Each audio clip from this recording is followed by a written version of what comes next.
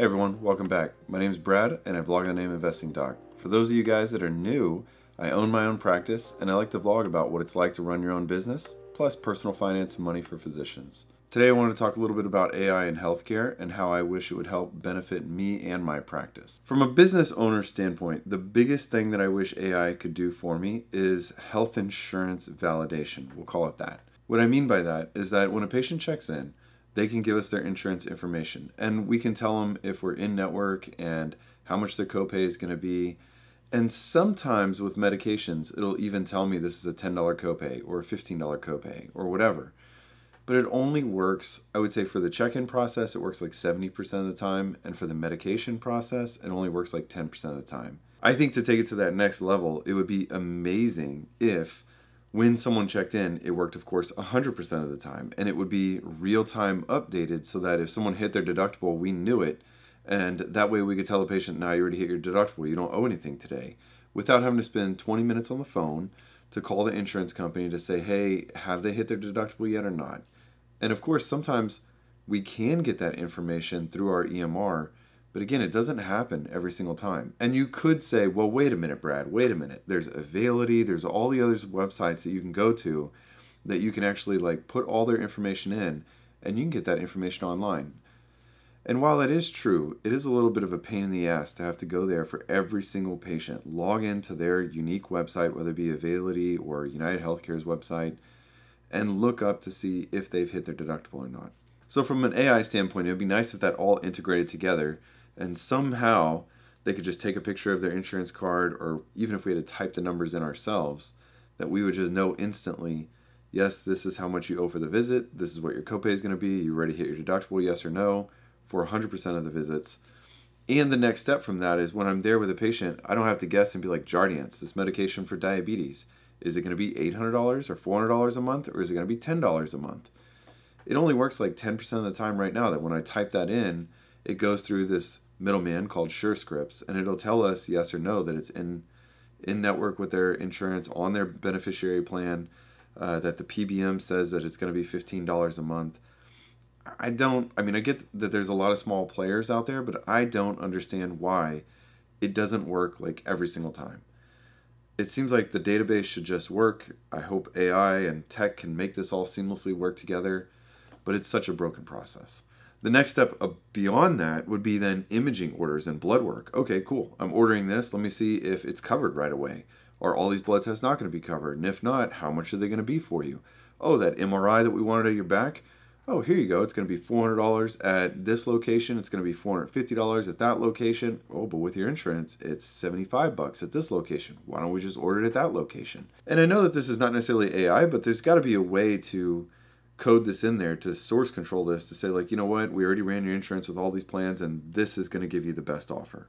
Unfortunately, we're kind of a long way away from that and it's it only works like 10 to 15% of the time for medications and that I think would improve patient reliability and getting things done if the surprise is not there of showing up to the pharmacy and being like hey this medication's $400 and or oh that mri is $200 okay let me budget that and then i can get that done maybe two months from now all right the next thing that i hope artificial intelligence can help bring us is patient engagement i would love it in my ideal world if a patient texted in and was like hey i need a refill on my Singulair an allergy medication.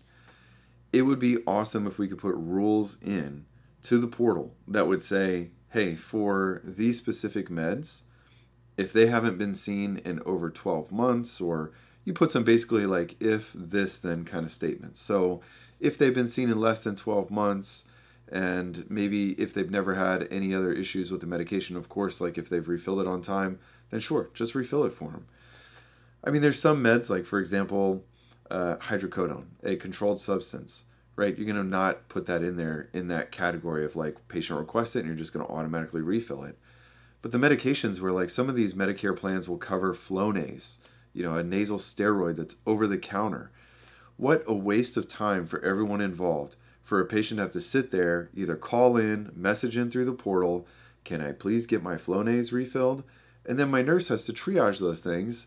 And then, of course, he or she will refill them. but it just takes time. It's unnecessary. Why can't we put a rule in our system that says for Flonase, we don't give a shit? You can refill that as many times as you want for Flonase. We don't care.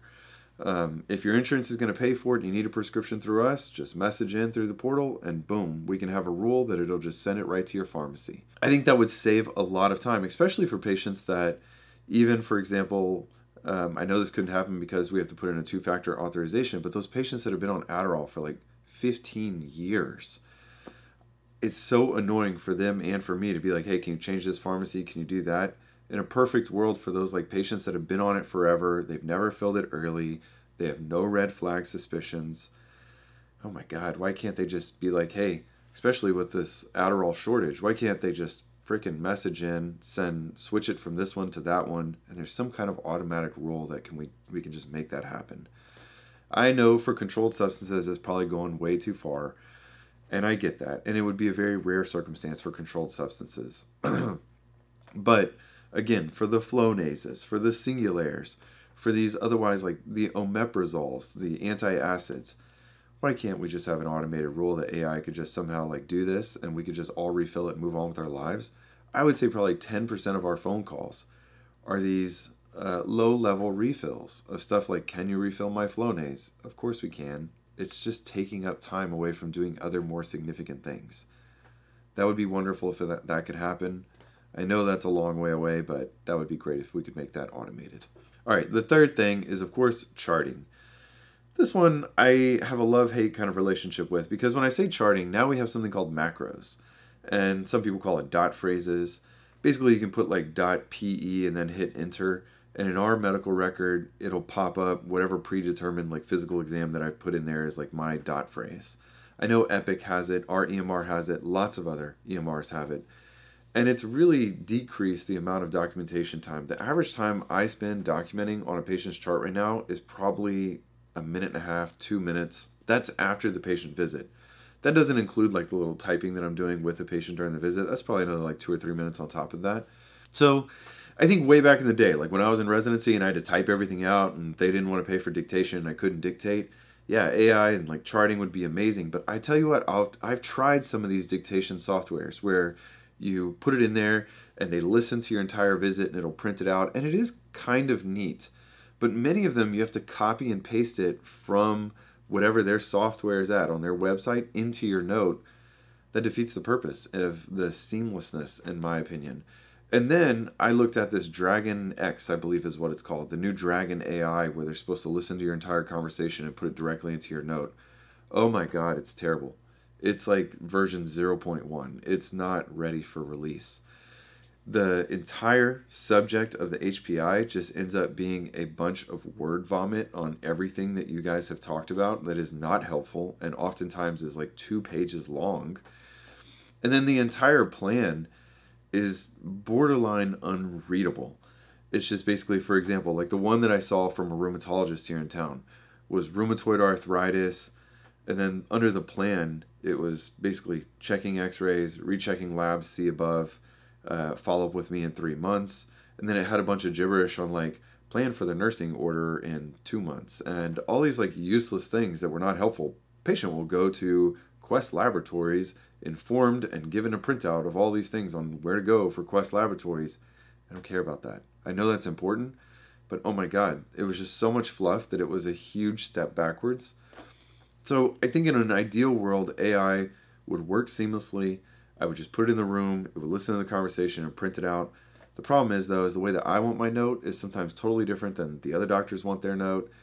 And I think that's going to be a huge barrier for a lot of people. The other barrier is for us right now, the Dragon X or whatever this AI thing, just to start it up, they wanted ten thousand dollars just to start it up. And then I think they told me it was something like two thousand dollars a month per provider after that yeah, it's not worth it. I mean, right now for our dictation software, we pay 70 bucks a month. Um, and I spend a minute and a half documenting on the little dictation thing.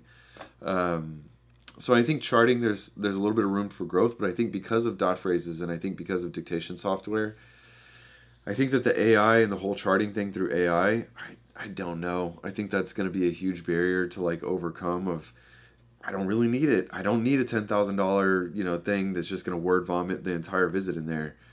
Um, I think it's got a long way to go, and especially the plan that spit out for me from this rheumatologist office, it was junk. It was basically unreadable. All right, and then the final thing that I, I hope AI can do is we'll call it the administrative task or the bloat task. You know, for example, if I need a referral to be sent to a certain insurance company or something like that, it'd be nice if I could not only message that and say, okay, I'm going to send this off to pain management, but if there was a way to click a button that would automatically say, like, yep, send the referral to Blue Cross Blue Shield HMO. I'm sending it to Dr. So and so. And it would be nice that I didn't have to message my employees to say, go to the Blue Cross website and ask them for permission to go to this frickin' pain management that I was going to send the patient to anyway. I have to employ this person to do the dirty work, and meanwhile, the HMOs pay us less. Eh, the insurance companies win, and everyone else, especially the patients, lose. So I think the administrative tasks, the little menial tasks like this, or requesting medical records or other things, it would be just seamlessly happening. And I know there's care everywhere in Epic, but if you don't have Epic, it doesn't work. You know, HCA, they have a system where they try to give us their notes and other things. It's junk. The notes we get are basically like, yep, they were started on a new antiplatelet medication, let's say Plavix. I have no idea. Did they have a stroke? Did they have a heart attack? Did they have a stent put in? I don't have any of that information. All I know is that they were started on Plavix. Um, and it just makes it honestly slightly helpful, but a little bit more confusing because sometimes they come out with a bunch of medications that they don't even need, like some oral potassium supplements. And I tell them, like, oh, are you taking this? And they're like, no, I was using that in the hospital. I'm not taking that anymore. So the medication reconciliation wasn't done appropriately. I think the administrative task, I think that would be wonderful if that could happen. But the biggest thing that I would love as a physician who owns my own practice is that patient experience. I think if AI could make it so that you could text in, I want an appointment at three o'clock, boom, books a visit. I want a refill on my Flonase, boom, done. You don't have to wait on anything. And we could have it so that it also automatically says like, I want a refill on my losartan, high blood pressure medicine.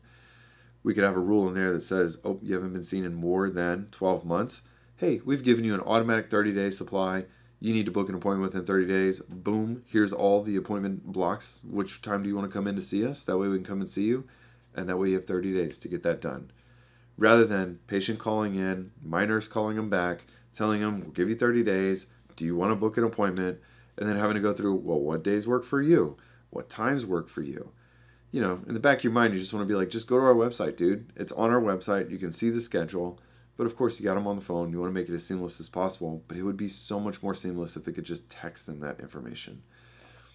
I think that would make the next AI and integration amazing. I know that charting is the hot topic right now. I don't care about charting. That's just me. And to put it in perspective, all the other providers in my clinic I bought them the Dragon dictation. They use dot phrases so much they don't even use a freaking dictation software anymore. They're all just using dot phrases. What do you guys think? Where's AI headed for healthcare in the future? I personally think it's going to be more that patient experience, patient touch, rather than anything else. Um, but what are your predictions on AI and what would you like to see? All right, talk to you guys next time. See y'all later.